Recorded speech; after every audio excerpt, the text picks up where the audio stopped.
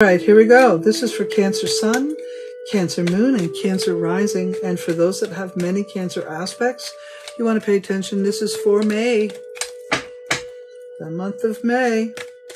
Cancer, just so you know, because Scorpio is the energy that the lunar eclipse is vibing in, this might be a good time for you.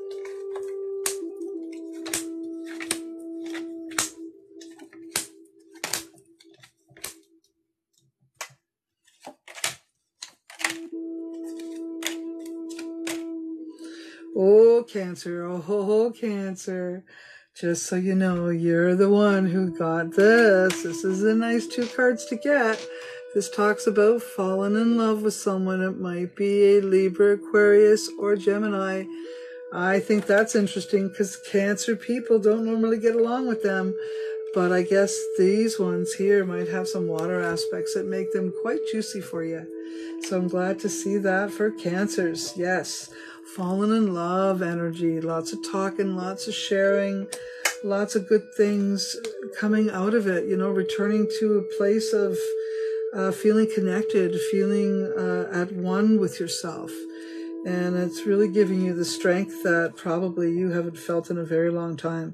Looks like your cart was upside down for some time, and now it's a good thing. Things are good and falling into place perfectly. Isn't that great? Glad to hear. Glad to be able to share that with you. Yes, uh, judgment around your workplace, though, you might have had to make some pretty uh, difficult decisions and working really hard to make some changes happen in the workplace. That will be uh, a long term um, long-term effort. You'll have to put a lot of effort into the work energy. It doesn't look like you've actually really fully felt like being in your workplace for some reason. Um, it could be that you've been really busy with other things and that's sort of slowing you down or, or making you turn the other way. Um, that's okay. It's a temporary thing. And there might be some other people that can be very helpful um, to you. Cancer. This also, oh, I love what I'm seeing here. Lots of good changes in the workplace um, that you know, you maybe you didn't feel like working, but the changes that came have actually put you in a position where you do feel a little more uh, interested in your workplace. So that's a good thing. That's a good thing. Um, lots of opportunity, lots of um, uh, ideas being shared. Um, maybe some changes in your home. Maybe there's going to be uh, either you're moving or a lot of movement's going to happen over the next little while for a lot of people, actually. Uh, Taurus um, was one who made uh, Aries. Uh, oh, Aries and Taurus, I think, were the main ones there. But also, I'm seeing some movement here now for Cancer. Um, and it looks like wherever you made your decision to move,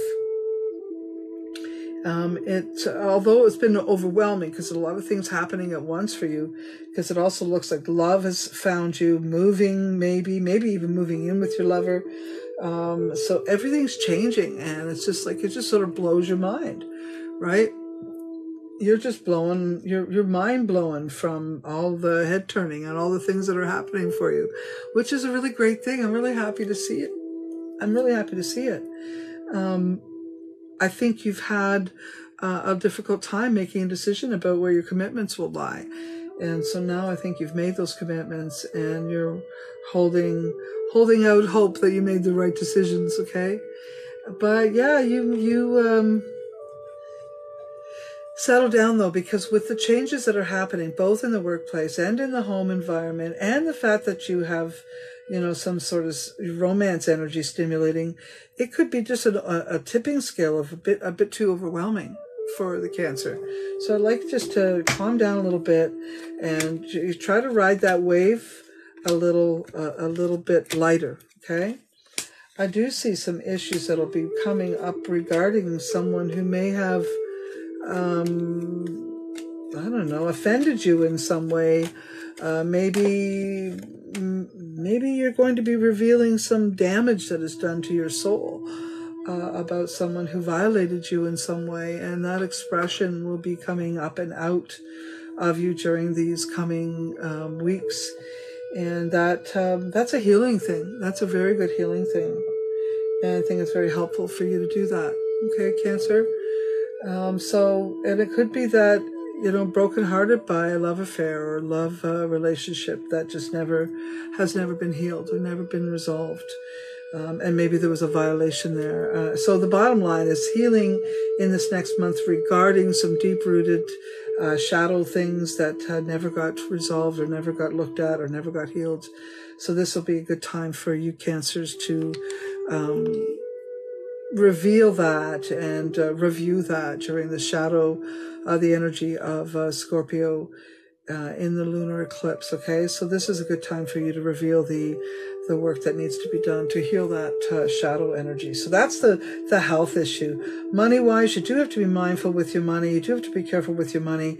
But it looks like you're making some decisions that are going to be uh, helpful with that and bring more people into your vibe, spending more money and and helping you make more money okay?